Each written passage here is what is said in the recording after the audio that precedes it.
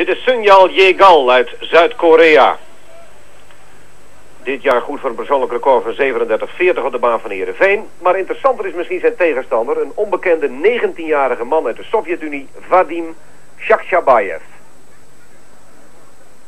Hij reed al 37.08 dit jaar. En tot op heden is dat goed geweest voor de vierde seizoentijd.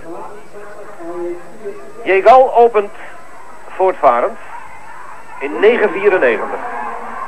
En een misslag voor Jacques Chabayev. En dat zie je toch vaak met die Russen. Die grote mannen, die grote leven die door die bocht moeten.